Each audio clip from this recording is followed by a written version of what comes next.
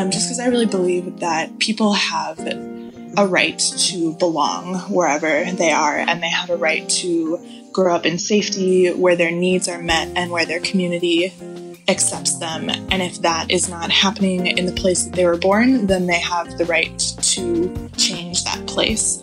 And I see kind of the work of refugee resettlement and facilitating that and like seeing refugees as humans first and foremost who have needs of safety and acceptance and belonging to be just like really valuable and inspirational work.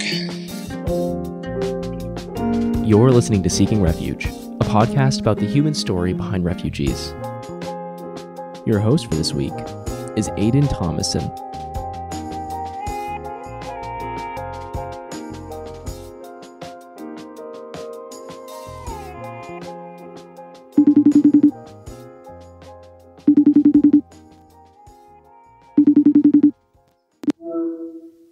Katie. Hi, how are you doing? I'm good. How are you? Good. Well, first, I wanted to welcome you and um, thank you for taking the time to interview. I know you're really busy. Thank you for having me. Would you introduce yourself and give a brief introduction? Yeah, absolutely. So, my name is Katie Heins. I just graduated from USC from the Honors College um, this past May in 2019, where I was in international studies and Spanish major um, and got involved in a lot of like social work related issues and research on campus, which kind of led me to working with um, Dr. Breanne Grace in the College of Social Work, um, who does a lot of work with refugee issues, and um, which led me to yeah working with her on a project about anti-refugee le- legislation in South Carolina, and then working at the Scholastic Soccer Program, which is where I did my senior thesis.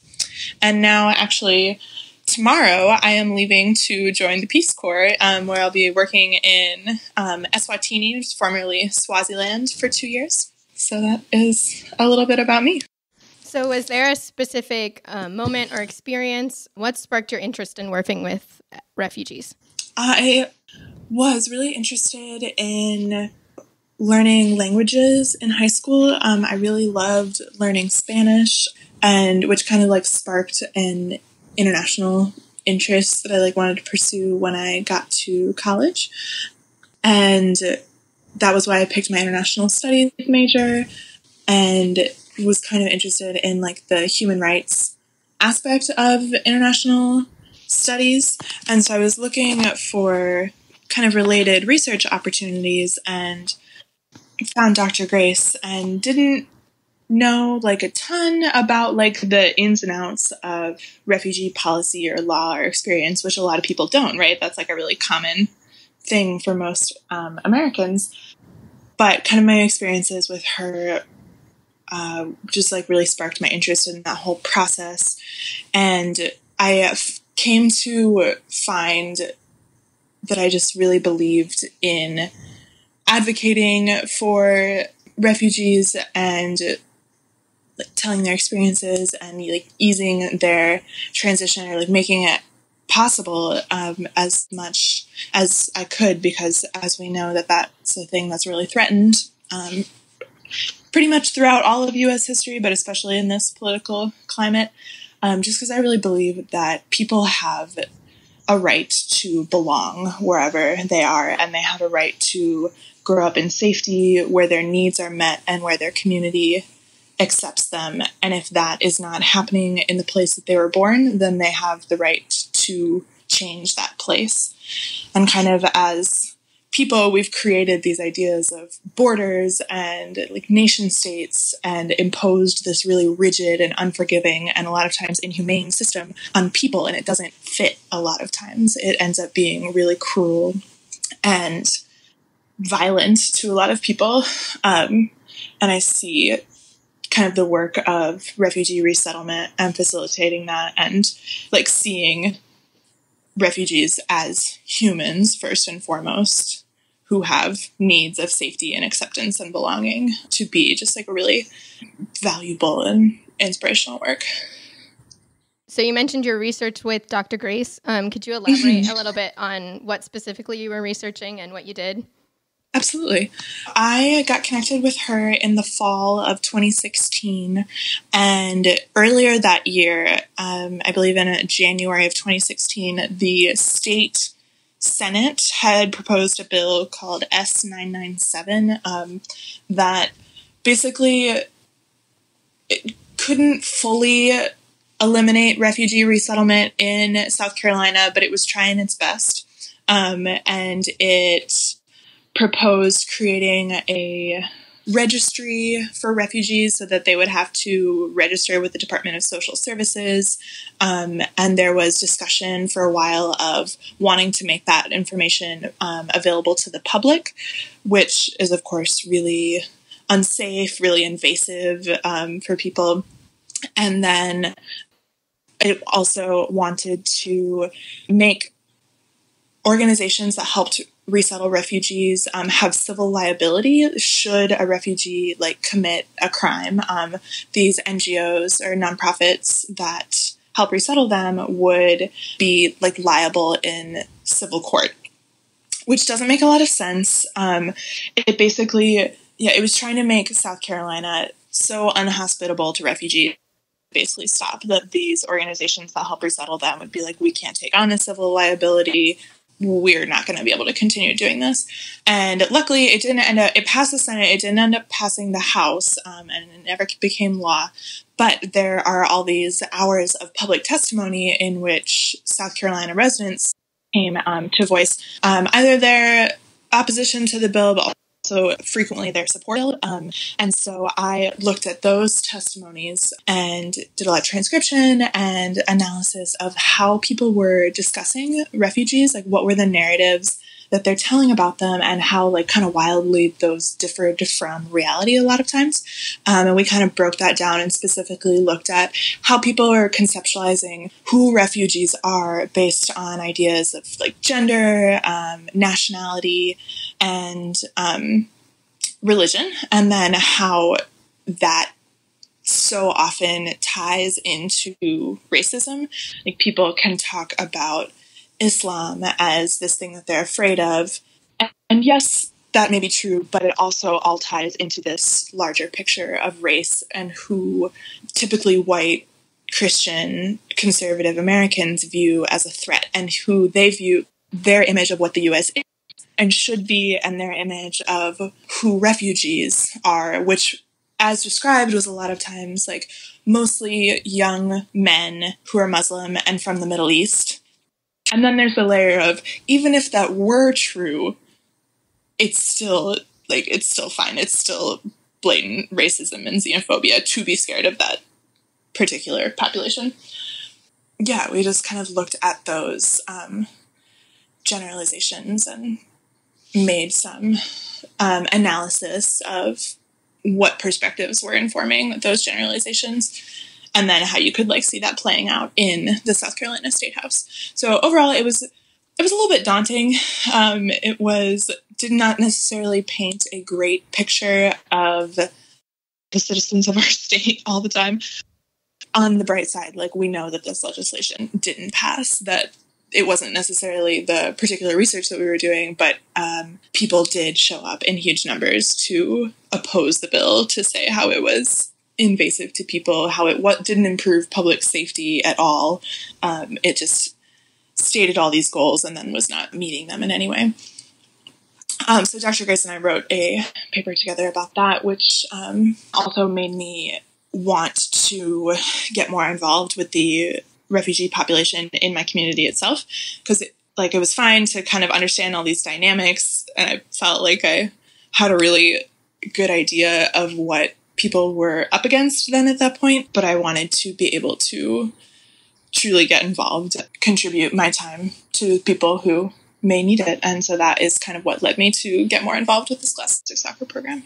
Were there any specific examples from the public testimonies, um, either in support or opposition of the bill, that really stuck out to you?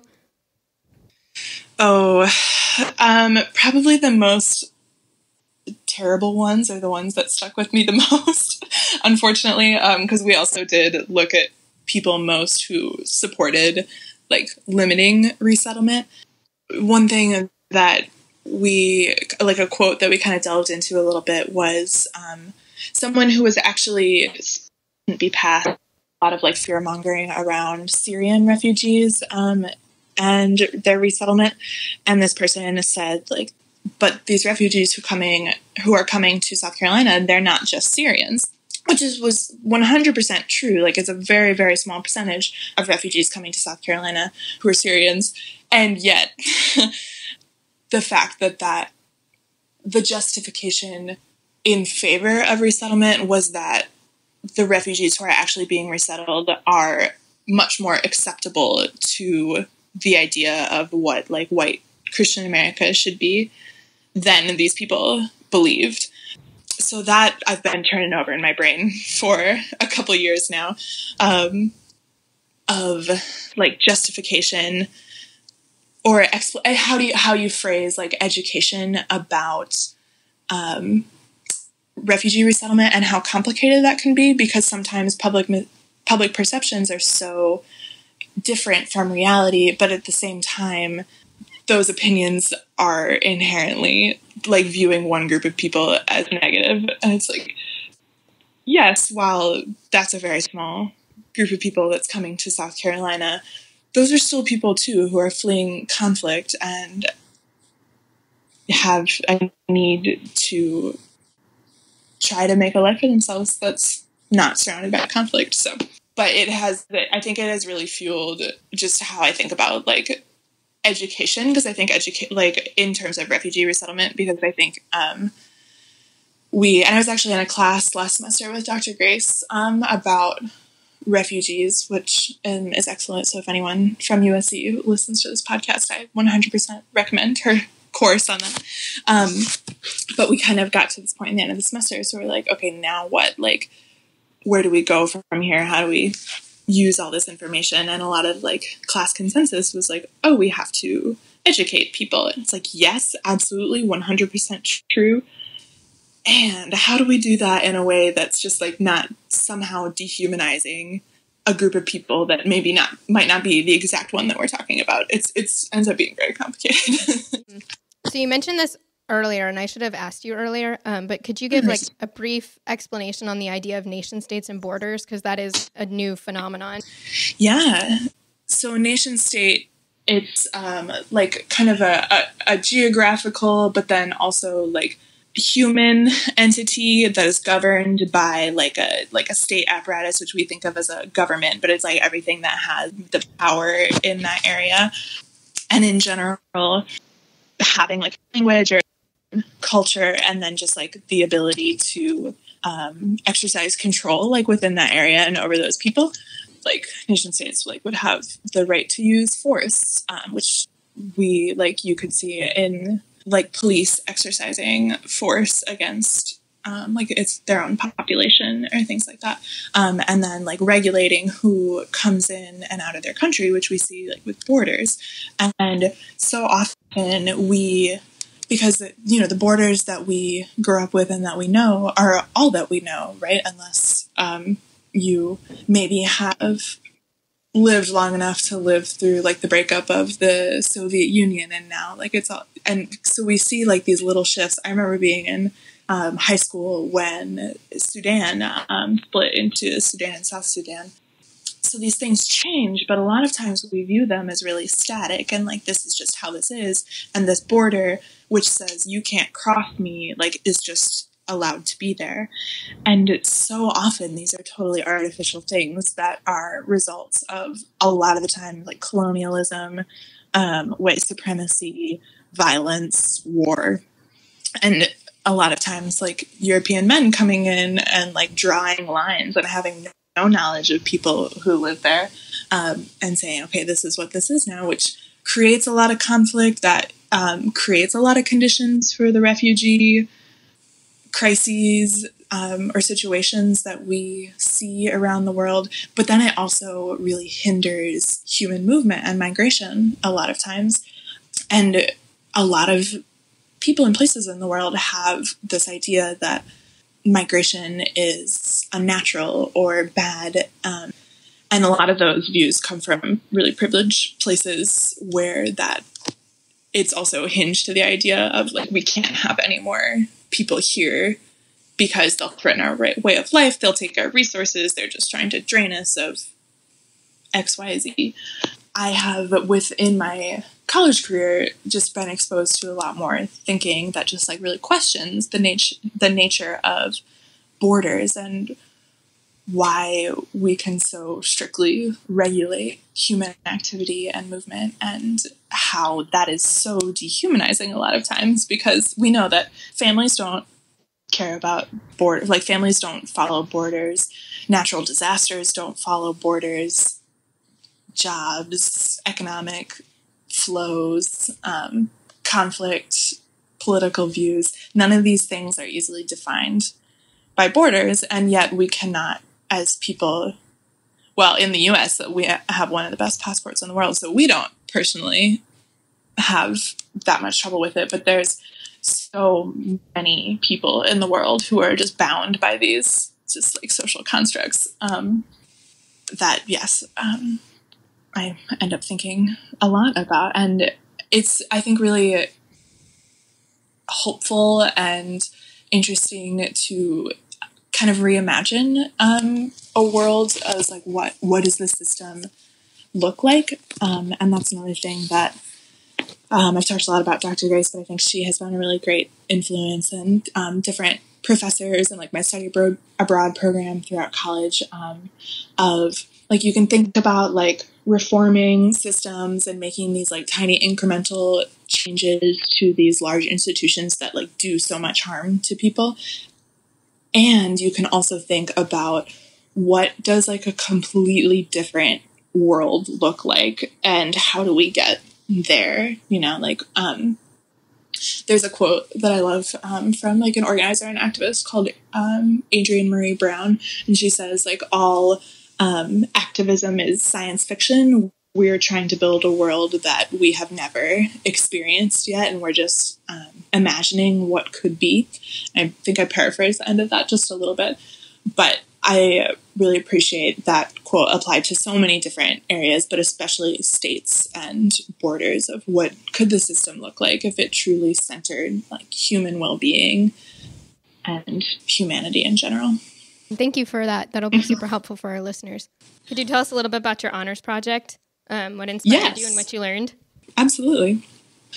I was um, a tutor previous, like previous to my senior year, with the Scholastic Soccer program, and really loved um, working with the kids that come there. I just really enjoy working with youth and kind of that combination in that program of like structure and maybe working on math homework or playing soccer um, and then within those bounds too like i've had just so many really great conversations um, with kids and they're just hilarious and wonderful um, and just like running around and having a grand old time so i really enjoyed just environment um, and wanted to work with my honors thesis with that program and i had done some reading that i was really interested in oh, I guess um, I'll back up just a little bit. In my study abroad program um, this semester before my senior year, I was in a, like a multi-country program. Um, so I spent a month each in Nepal, Jordan, and Chile,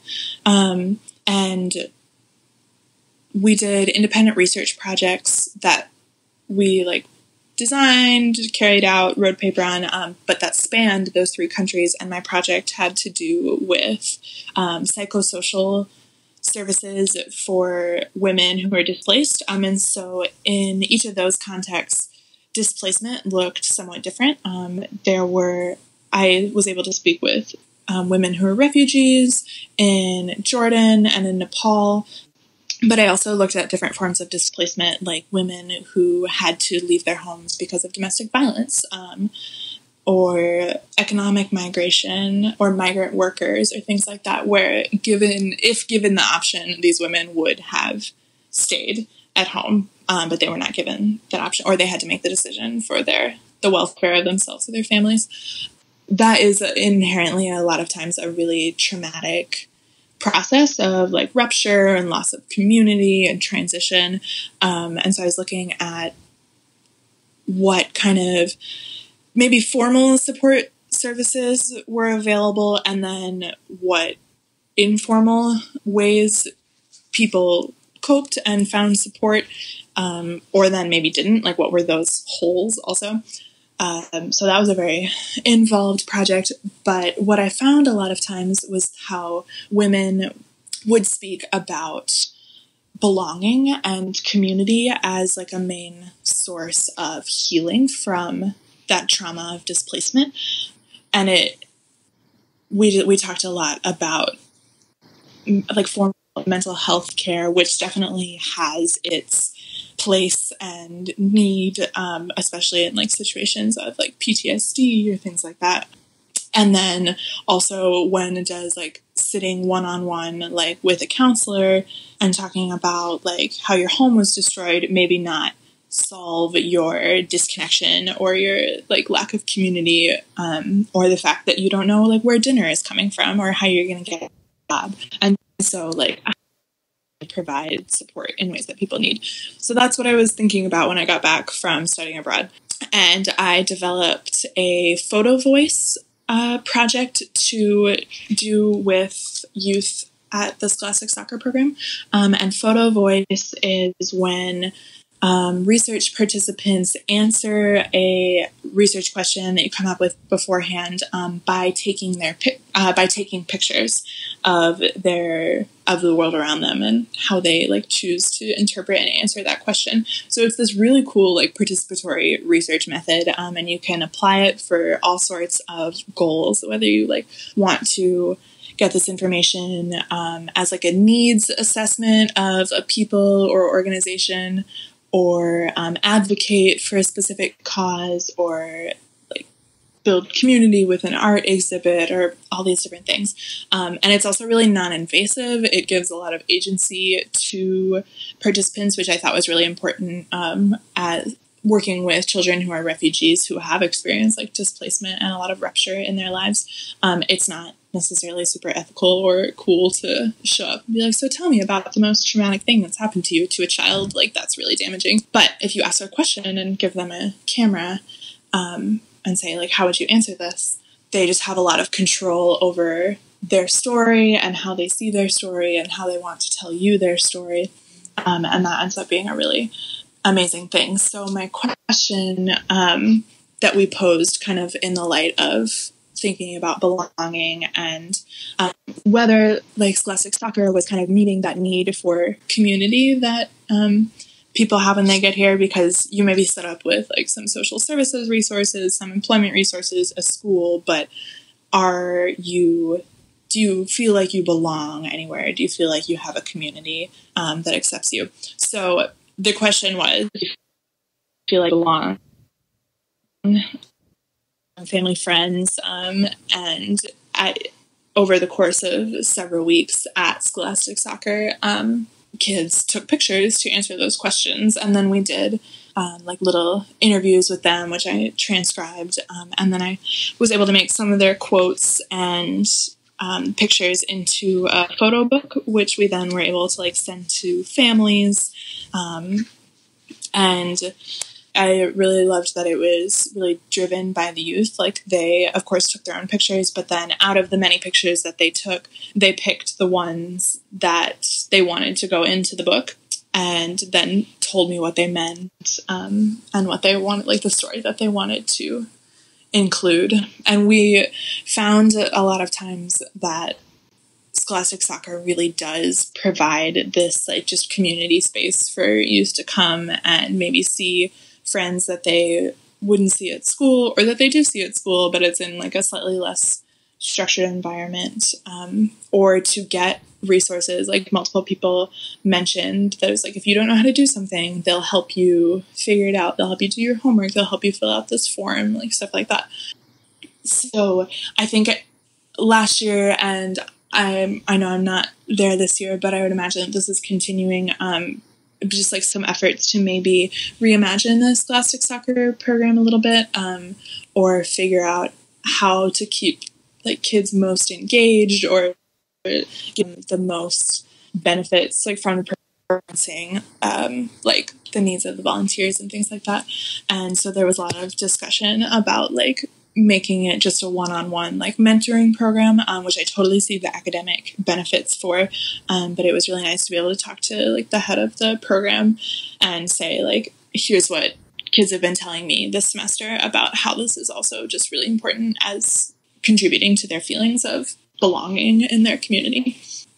And kids are also just so funny and say the best things. Um, so the interview transcriptions just are beautiful like pictures into like their inner monologues.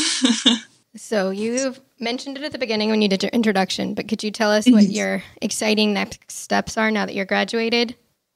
Um, so about 24 hours from now, I'm getting on a plane um, to join the Peace Corps, and I am going to be working as a youth development volunteer in the Kingdom of Eswatini, which is formerly Swaziland. It's a small country um, located right between South Africa and Mozambique, um, and it actually has the highest percentage of people in the world um, infected with HIV or AIDS.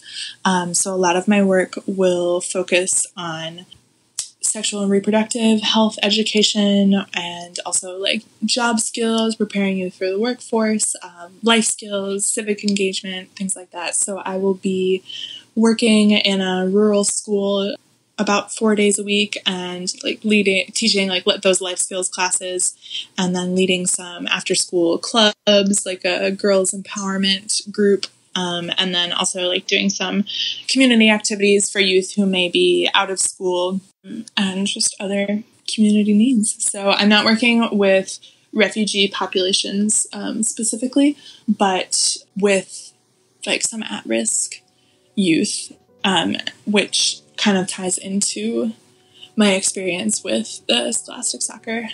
And I think that experience really fueled my um, love for working with youth and kind of led me to this path. So I'm very excited. Um, I hope to pursue a master's of social work um, after I get back in about two years. I can definitely see myself working with refugee populations long term but off in a slightly different direction for the next few years. Um, and a very long geographic distance. that's awesome. Thank you. Well, that's all I've got for you. Thank you so much for sitting down with us. I know you're super busy with, with yeah. leaving 24 hours from now for the Peace Corps. Um, you've got a lot of experience and insight um, that we really appreciate. So it was great to talk well, to you. Thank you for having me. Yeah, thank you for having me. Thank you so much for listening to Seeking Refuge. If you have a story you'd like to share, get in touch with us by sending us an email at seekingrefugepodcast at gmail.com. Connect with us on Facebook, Twitter, and Instagram at Seeking Refuge Podcast, and leave us a review on Apple Podcasts. Our show wouldn't be made possible without the wonderful support from Maxcy International House at the University of South Carolina. We'll be back in two weeks with another episode.